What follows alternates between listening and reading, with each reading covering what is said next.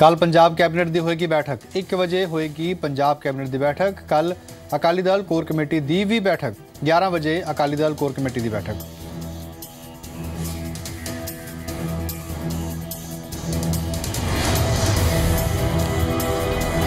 SYL ਦੇ ਮੁੱਦੇ ਤੇ ਕਾਂਗਰਸ 17 ਤਰੀਕ ਨੂੰ ਕਰੇਗੀ ਰਾਸ਼ਟਰਪਤੀ ਨਾਲ ਮੁਲਾਕਾਤ। ਮੁੱਖ ਮੰਤਰੀ ਬਾਦਲ ਵੱਲੋਂ ਕਾਂਗਰਸ ਨੂੰ ਵਿਧਾਨ ਸਭਾ ਇਜਲਾਸ 'ਚ ਆਉਣ ਦੀ ਅਪੀਲ ਤੇ ਕੈਪਟਨ ਨੇ ਪੁੱਛਿਆ ਇਜਲਾਸ ਦਾ ਏਜੰਡਾ। ਕਿਹਾ, ਰਾਜਪਾਲ ਅਤੇ ਕੇਂਦਰ ਦੇਣ ਭਰੋਸਾ ਕਿ ਵਿਧਾਨ ਸਭਾ ਵੱਲੋਂ ਪਾਸ ਕਿਸੇ ਵੀ ਕਾਨੂੰਨ ਨੂੰ ਮਿਲੇਗੀ ਮਾਨਤਾ।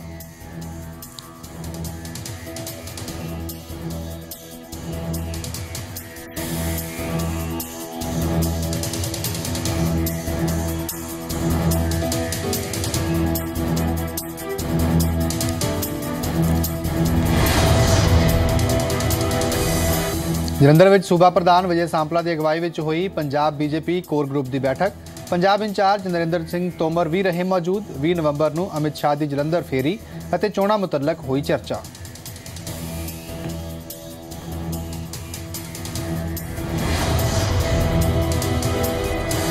ਪ੍ਰਧਾਨ ਮੰਤਰੀ ਨਰਿੰਦਰ ਮੋਦੀ ਨੇ ਇੱਕ ਵਾਰ ਫੇਰ ਕਾਲੇ ਧਨ ਵਾਲਿਆਂ ਤੇ ਸਾਧਿਆ ਨਿਸ਼ਾਨਾ। ਕਿਹਾ, ਲੋਕਾਂ ਨੂੰ ਹੋ ਰਹੀ ਤਕਲੀਫ ਦੀ ਹੈ ਫਿਕਰ, ਪਰ ਵੱਡਾ ਕਰੜਾ ਫੈਸਲਾ ਲੈਣਾ ਸੀ ਬੇहद ਜ਼ਰੂਰੀ।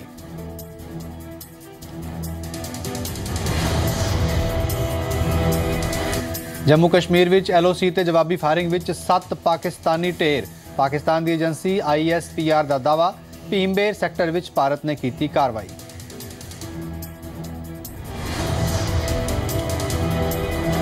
ਅੱਜ ਦੇਸ਼ ਦੁਨੀਆ ਵਿੱਚ ਪੂਰੀ ਸ਼ਰਧਾ ਤੇ ਉਤਸ਼ਾਹ ਨਾਲ ਮਨਾਇਆ ਜਾ ਰਿਹਾ ਹੈ। ਗੁਰੂ ਨਾਨਕ ਦੇਵ ਜੀ ਦਾ ਪ੍ਰਕਾਸ਼ ਪੁਰਬ ਗੁਰੂ ਘਰਾਂ 'ਚ ਵੱਡੀ ਗਿਣਤੀ 'ਚ ਪਹੁੰਚ ਰਹੀ ਹੈ ਸੰਗਤ। ਪੀਐਮ ਨੇ ਟਵੀਟ ਕਰਕੇ ਦੇਸ਼ ਵਾਸੀਆਂ ਨੂੰ ਦਿੱਤੀ ਵਧਾਈ।